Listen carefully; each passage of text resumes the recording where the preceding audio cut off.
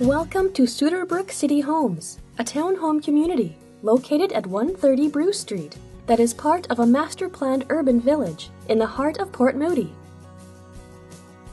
Step inside Unit 2, where you will first be invited into your formal living room with bright windows.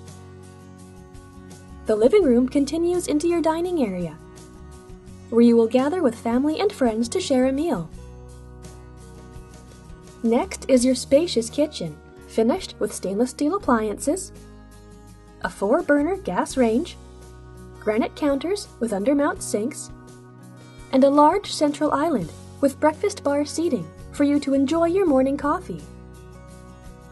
Your family room is kept warm with an electric fireplace and has access out to your secluded back patio. There is also a two piece bathroom featuring a pedestal sink on the main floor.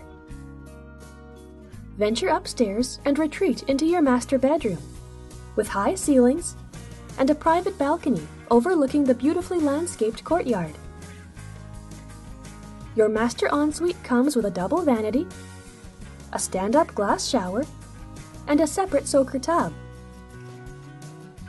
The second bedroom is also bright and spacious with sliding doors out to its own private balcony.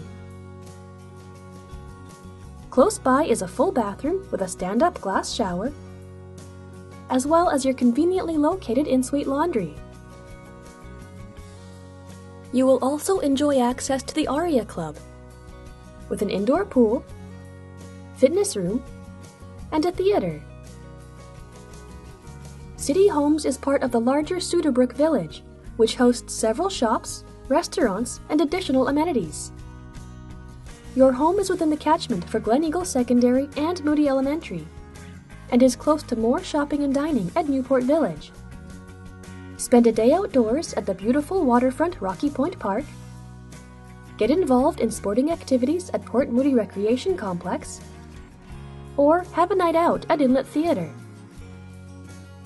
You are also close to the West Coast Express, and the Inlet Center Station, part of the upcoming Evergreen SkyTrain line, providing you with a convenient commute to downtown Vancouver and the rest of the lower mainland.